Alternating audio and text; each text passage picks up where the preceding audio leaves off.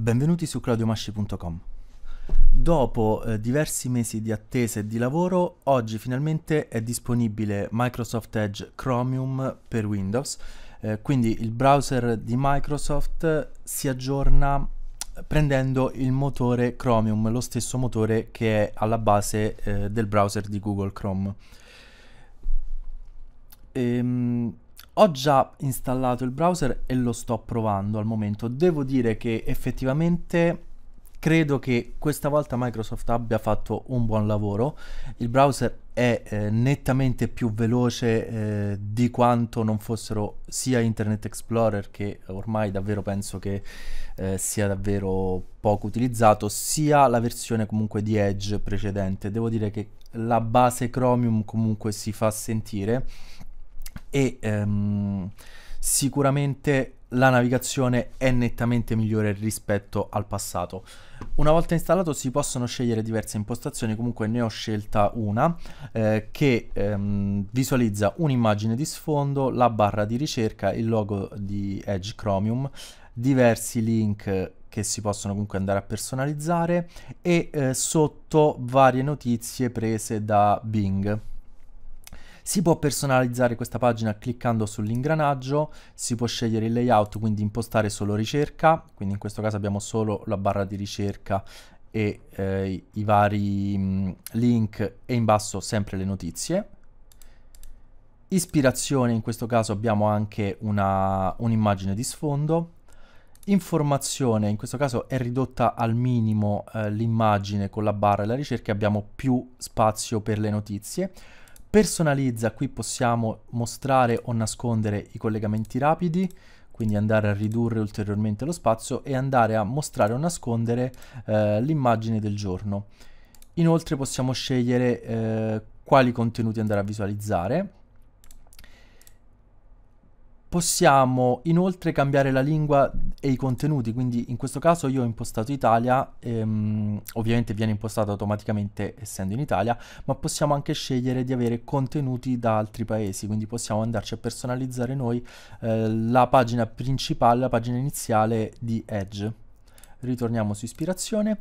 Eh, per quanto riguarda il download, è possibile scaricare Edge dal sito di Microsoft. Al momento eh, credo che non venga scaricato automaticamente, ma molto probabilmente in futuro eh, verrà scaricato dal Windows Update, quindi dagli aggiornamenti di Windows eh, verrà scaricato anche Edge, la nuova versione di Edge. Al momento per chi non vuole attendere che sia disponibile da Windows Update, si può scaricare dal sito di Microsoft, che attualmente è disponibile solo in inglese il sito, ma Edge è completamente in italiano, quindi il browser è completamente in italiano. Collegandoci al sito che comunque troverete sul, eh, all'interno dell'articolo, quindi se state guardando il video da YouTube, eh, andate in descrizione trovate il link dell'articolo e da lì potete visitare la pagina eh, del sito Microsoft dalla quale scaricare Edge.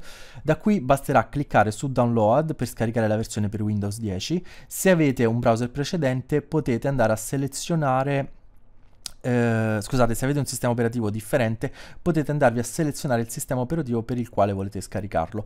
Eh, tra, tra l'altro nell'elenco dei sistemi operativi c'è anche Windows 7 eh, che è stato abbandonato proprio ieri da Microsoft. Se avete visto il mio precedente video o articolo saprete che da ieri infatti Windows 7 non verrà più aggiornato, ma eh, come ho detto nel precedente articolo ehm, ancora per un po' i software si troveranno e ne è un esempio proprio Edge che è uscito proprio il giorno dopo l'abbandono proprio di Microsoft di Windows 7, ma comunque disponibile anche per Windows 7.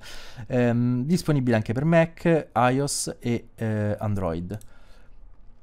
Qui abbiamo diverse descrizioni, vediamo se sono tutti disponibili. Eh, sì, si possono scaricare tutti. Um, abbiamo le impostazioni, quindi possiamo scegliere diverse eh, impostazioni del nostro browser, quindi ce lo possiamo personalizzare come preferiamo. Come detto, penso davvero che questa volta Microsoft abbia fatto un buon lavoro. Edge basato su Chromium è davvero un buon browser. Personalmente ehm, il mio browser preferito è Firefox, quindi comunque io utilizzo un altro eh, tipo di browser, però davvero credo che per chi eh, stia ancora cercando un browser che magari non, non, ha trovato ancora uno che lo convince appieno, questa volta eh, questo browser di Microsoft può ehm, essere valutato, quindi vi direi comunque di valutarlo. Ehm, Andando a scaricarlo verrà sostituita la versione di Edge presente sul sistema operativo, quindi verrà sostituito l'Edge ehm, non basato su Chromium con questo nuovo, manterrà tutti i preferiti, quindi manterrà tutte le impostazioni del vecchio browser, ma eh, con la nuova grafica, con il nuovo motore, quindi cambierà eh, completamente la base del browser.